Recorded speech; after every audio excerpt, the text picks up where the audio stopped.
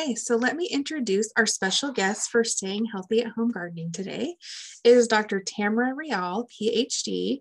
She is also known as Dr. Bug. She works for the MU Extension um, for the Urban West region, and she is the field specialist in horticulture.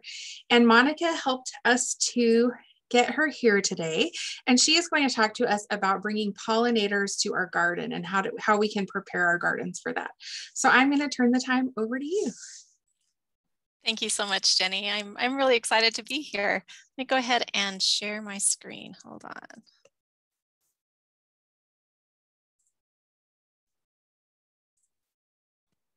There we go. Can I just get confirmation that you guys can see that?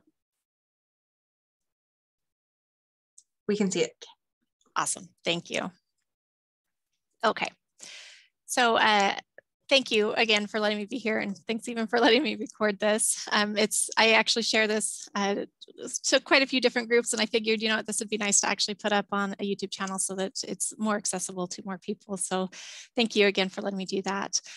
Uh, also, I hope that you will feel free to put questions in the chat um, if you are familiar with Zoom, then you know where that is. If not, at the bottom of your screen, there's a, a icon that says chat and just uh, go click on that. And then there's a place you can just um, send me messages and I'll be checking that throughout the presentation so that we can have this be more of a conversation.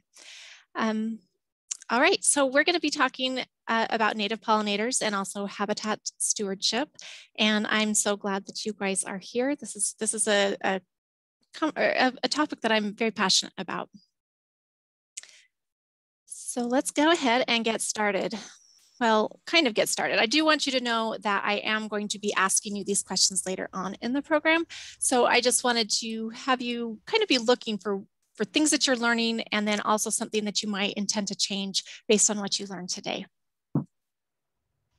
Okay, so first of all, uh, bees, butterflies, moths, wasps, flies, and beetles. They're some of the animals that are providing ecological services to over 85% of the world's flowering plants. And they're also important in about 35% of global crop production. So about every third bite that you take, um, that has had a, an insect pollinator. And and while the European honeybee is a significant managed crop pollinator, native pollinators are as important as ever to the future of agriculture, providing and protecting native pollinator habitat, including the foraging and nesting sites.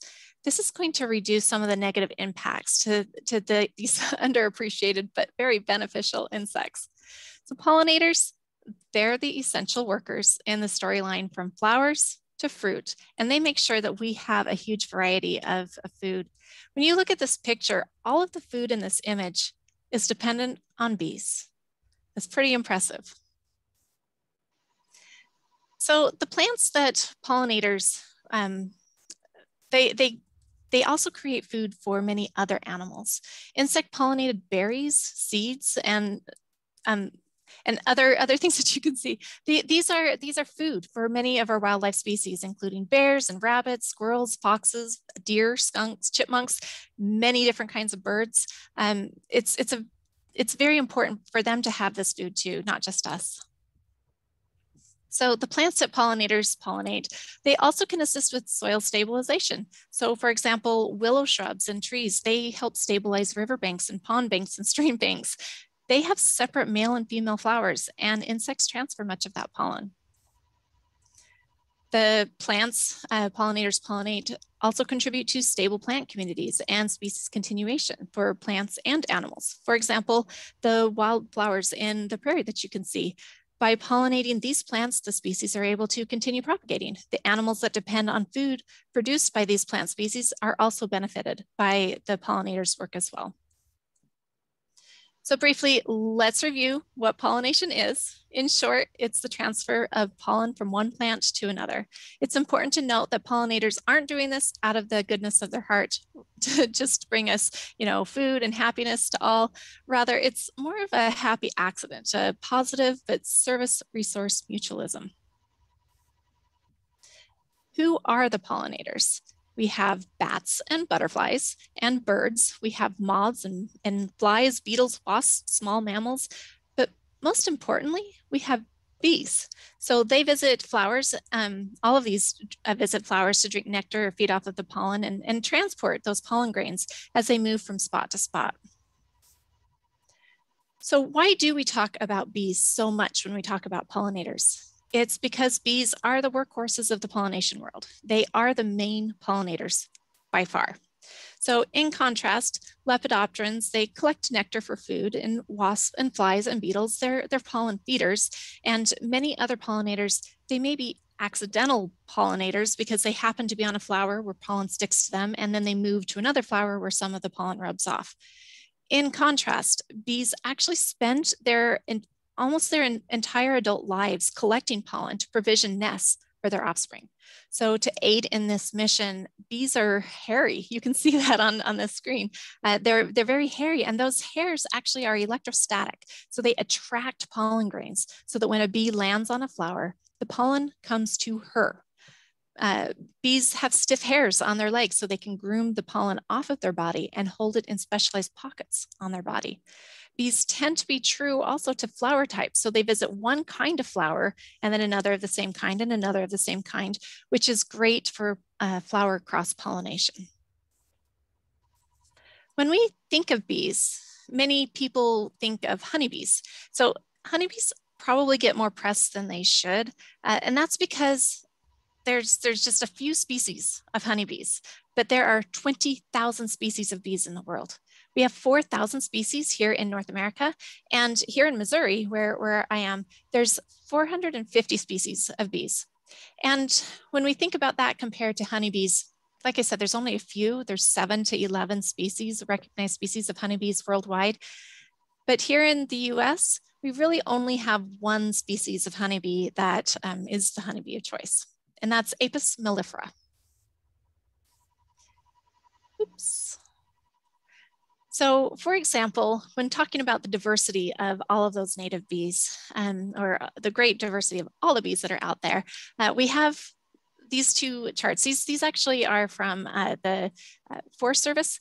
Um, they have the bumblebees of Western US and also the bumblebees of the Eastern US. You can see so many different kinds of honeybees or of, you can see so many different kinds of uh, bumblebees that are out there. So we have some that are large, we have some that are small, we have various colors that are out there, and some of them are, they're going to uh, uh live in different habitats or different niches. So the honeybee, though, it's it's a pollination poster child. Um, and why is that? Well, it's been studied for over 200 years. These are eusocial bees that, that means something very specific when we talk to uh, an entomologist. I, am an entomologist, and it means that they they'll live together. There's um, a we have a we have different caste systems so we have a queen and we have workers and um, and we have drones and then um, they they have overlapping generations so there there's a unique class of insect um, compared to most insects that are solitary. And so with our honeybees, we can, we've actually convinced them to live in this box and it's transportable. Um, so that's why we call them domesticated. They're, they're not domesticated like your dog, but they're a wild animal, but um, we're able to keep them um, and, and harvest from them. So typically honeybees are kept in this, this square or cube-like box. It's that's called a Langstroth hive. There are other kinds of hives. You can see back here, there's one that's that's a, a long hive or a top bar hive. Um, there, there are some other kinds, but these are probably the two most familiar. And usually you might see these painted in white or another bright color we love honeybee products. Uh, we, we love honey and beeswax and propolis. Uh, we love their pollination services. They help make a lot of food for us. Their social lives fascinate us from the waggle dance and their ability to communicate where a rich source of pollen or nectar is located. They can communicate that to their sisters. And then honeybees, really truly, they are still, they're still so sophisticated. We're still learning about all the different ways that, that they interact with one another. And while these bees are the most prolific honey makers, they make a great pollination poster child. And we'll be talking more today about native bees instead, but we'll also talk about why we're mostly talking about bees. Um, and it's because they're the ones that, that are our key pollinators. And so we're going to talk about how to protect them and how to increase native bee habitat. So first, let's compare honeybees with our native bee species. So if you look at this, you can see some of this I've already told you. Um, honeybees, 7 to 11 species compared to, to 4,000 species here in the US or 20,000 worldwide.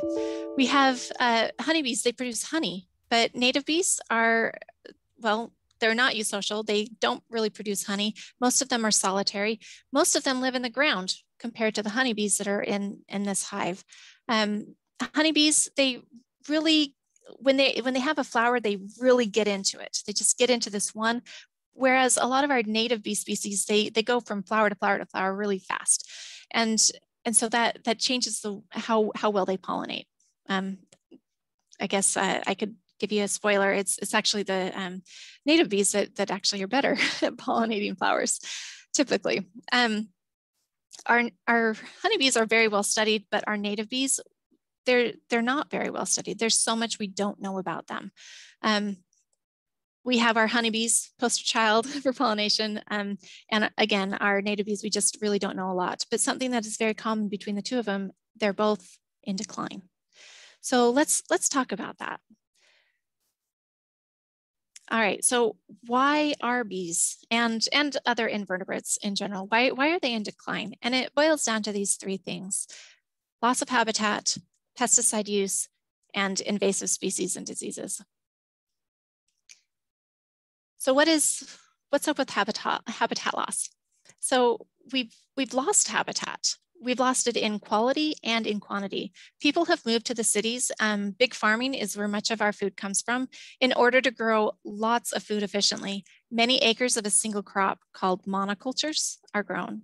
So what used to be small acreage farms with a lot of variety, it's now acres and acres of the same crop, even if it's a crop requiring pollination. Just like you're advised to eat the rainbow, nutrients from multiple sources are necessary for the pollinators to be able to get all the nutrients they need. So additionally, these, these really large acreage farms, they break up the habitats that created or that connected to each other um, in, in the past. And so insects actually have to travel farther to access food that is lower in nutrition, and then they have to go all the way back to their hive or nest. So pesticides, obviously, this, this is included. Pesticides killed things, often insects. Uh, the invention of pesticides were initially a boon to farming as much of our crops, are, they're lost because of destructive pests. So killing off the crop pests allowed for greater yields and efficiency. However, this came at a cost. So you may have seen this book, um, Silent Spring by Rachel Carson. Uh, she documented the adverse environmental effects caused by the way insecticides were used indiscriminately. So in environmental conservation was born, DDT was banned for agriculture use, and the US created the Environmental Protection Agency. So it's important to recognize that agriculture pests are a real problem. We do need to find ways to deal with the huge and sometimes devastating losses that can occur. However, killing our beneficials along with the pests is also devastating and it will make a bad problem worse if we don't find solutions. So this problem is compounded by knowing that we know so little about our native bees. Our honeybees live in hives and beekeepers can see the direct impact of pesticide contamination events. But most of our native bees live in the ground and we don't actually know how they're affected. We don't know um, beyond, you know, they, they obviously are affected uh, it could kill them, but death isn't the only way that bees are affected by pesticide. There can be sublethal effects such as decreased egg laying or decreased production or decreased coordination. And all of these can affect the overall health of insect populations. So we really need to do more research. There's also pesticide or parasites and diseases. You can see in this picture right up here, that is a mite that is an in, invasive species that has affected our honeybee populations. And it turns out it can affect some of our native bee populations, not, not in the same way because they have a, a symbiotic relationship with bees or honeybees, but they still can affect our other bees. So this is a varroa mite. Um, it's a hemolymph or insect blood uh, sucking parasite. So it's approximately like having a dinner plate sized mosquito feeding on you this this uh, mite was found in the US in 1987, only 34 years ago. But its impact has changed the way beekeeping has occurs now. So you can't just buy bees and set up your hive and just let it go, uh, if you don't monitor it, it can act, you can actually be causing more damage than good. So why are the bee populations declining? We just talked about loss of habitat, pesticides, and the spread of invasive pests and diseases. So all of these things compound into a huge and potentially devastating problem. So I just gave you a pretty dark picture, but the reason I have to share this is because these are all parts of the bee's habitat and you need to know what they are up against so that you can do something about it. And yes, you can do something about it. And that's what we're going to focus on now uh, for the rest of the presentation, what you can do maybe even today. Here you go. This is basically the rest of the presentation. Uh, create more food. You can plant more flowers. You can create more nesting sites. Uh, leave some bare ground undisturbed. Leave areas where the leaves can remain whole and undisturbed. Uh, and leave plants in place uh, at, at, the end of the season and let them stay in place through the winter. And then uh, if you have to cut them, um, then just leave them, leave them there. And that allows for more habitat. Uh, and then also practice IPM, which is integrated pest management. So let's look at those a little bit more closely. Uh, we have uh, planting more flowers. Uh, really, any plants that you put out there, uh, any more flowers, it's, it's going to help. There are some that are going to be a little bit better than others. For example, cultivated uh, versus native. Native uh, are, are better situated for our climate. Um, they can be better situated for our soil. If you live in an urban area, you might not have native soil, um, but, but typically they're gonna be better. Also, uh, if you look at this, we only have one set of petals here. A lot of our cultivated flowers have multiple layers of flowers or of the petals, which actually makes it more difficult for the bees and other pollinators to get to the nectar and the pollen. There's a resource right here, uh, Grow Native. They have a lot of top 10 lists that can help you find the, some native uh, plants that might be best for you. Um, I can drop that link in the chat in just a little bit. Uh, creating more food, again, planting more flowers. Um, when you're doing this, plant for year-round blooms. Um, so in the early spring and, and in the summer and in the fall, these are some crocus that I planted in my lawn, like actually in my lawn, uh, so that they, they came out um, really early in the season before I'd be doing anything in my lawn anyway. And then I also have clover growing in my lawn. So I'm creating these additional food resources for, for my um, for, the, for any of the pollinators that could be in my yard. And um, some people might not be able to do this. And actually, let me just show you a couple more, and then I'll you, talk a little bit more about this. This is henbit. A lot of people consider this a weed, but it's actually a very important food source for, for pollinators, uh, especially the long-tongued uh, pollinators like uh, honeybees or, or bumblebees. Now this is a video that I just took this afternoon.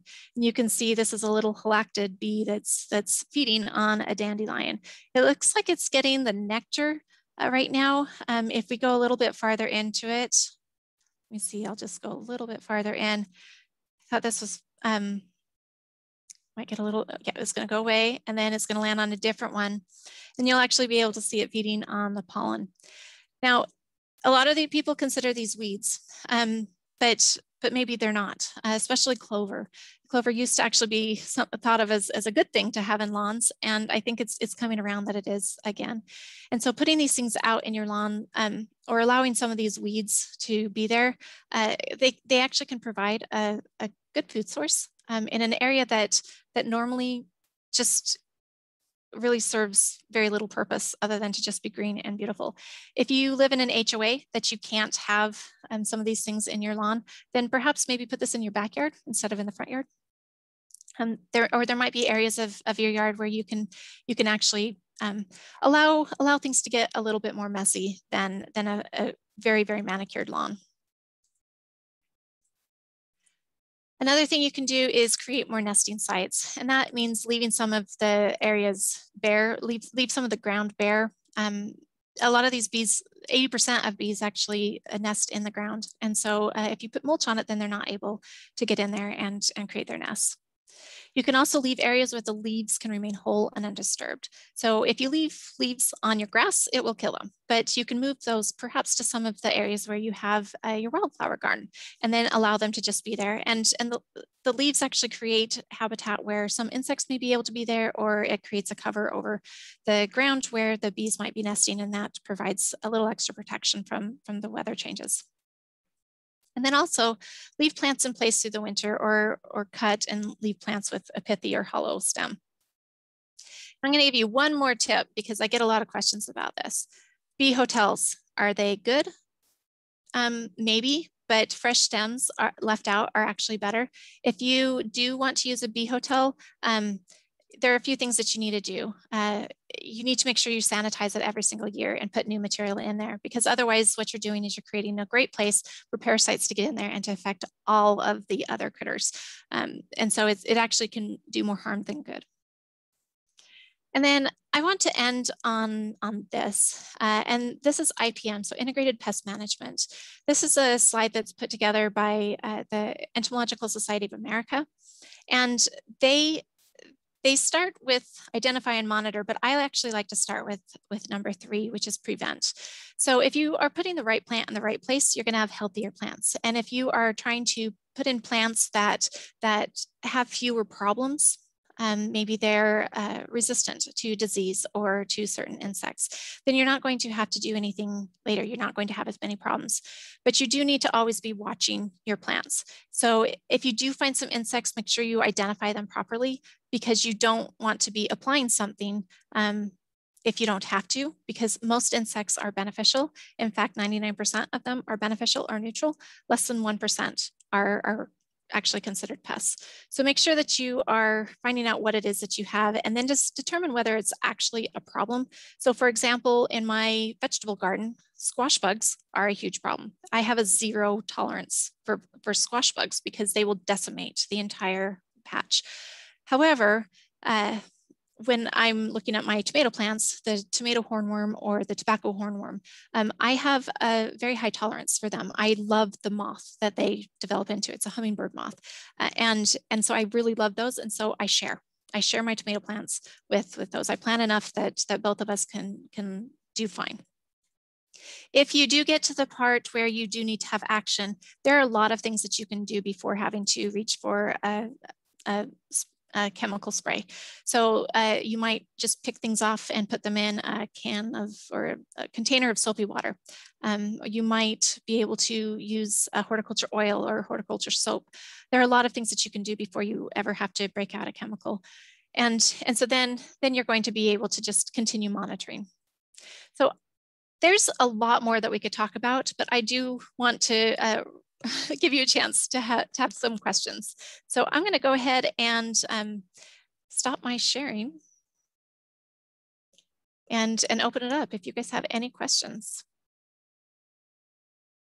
Okay, anyone just feel free to unmute if you have questions. This is kind of a weird question, but um, I heard that cockroaches are edible, so I don't know about squash bugs or, you know, these things you don't like. Can you turn them into food, even dog food or something? That's such an interesting question. Uh, it, it depends. Um, yes, uh, cockroaches can be edible, but they have to be reared in such a way that you're not going to spread diseases. Um, people here in the United States I, I, don't think many people are actually using those for, for food, but they are using crickets. So I used to tell my kids that I would never eat an insect on purpose. We all eat insects. Every one of us engages in entomophagy um, because it's in our food. There's actual legal standards for the amount of insects that are in our food. I'm sorry if, if you didn't want to hear that. Um, it's almost lunchtime for some people, uh, but that's that's the reality. It's impossible for us to keep all insects out of our food. Uh, but uh, there, there are people who are actually purposely create like growing crickets um, and, and grinding them into flour and able to use those in, in various foods. And I've had uh, cricket chips and I've had cricket uh, cookies that were just absolutely amazing and I would highly recommend them. So there, there are things that we can do, but they have to be grown in specific situation or, or conditions to, to be okay. Roaches have a lot, can, can carry a lot of diseases. Um, squash bugs, uh, they actually have a stink gland in them, um, which would be off-putting for most anything that wants to try and eat them. Speaking of those squash vine bugs, what do you recommend with those? Because I have no tolerance for them either. They have destroyed a lot of my plants. So well, squash bugs, um, I wish we had really great solutions for them. Unfortunately, they, they're a very tricky uh, insect to try and control. But uh, one of the things that you can do is you can plant a trap crop, a trap crop a little bit earlier. And what a trap crop is, it's, uh, it's a type of plant that is even more attractive to the pest than what you are wanting to grow. And so there's for squash, there's a, a variety called Blue Hubbard that seems to work really well as a trap crop for squash bugs. And so if you plant that about two weeks earlier than the rest of your crop, then you're going to be able to monitor this crop. Now, just having them out there and just because it's more attractive, it doesn't mean that you can just let them be. What it does is it allows you to see when they're coming in so that you can be aware and protect your other, other crops okay. um, sooner. That's not the only insect that bothers squash though. There's there's also squash vine borer that you you have to protect those those stems as they're coming mm -hmm. on from from the borer. Yeah. Okay, any other questions?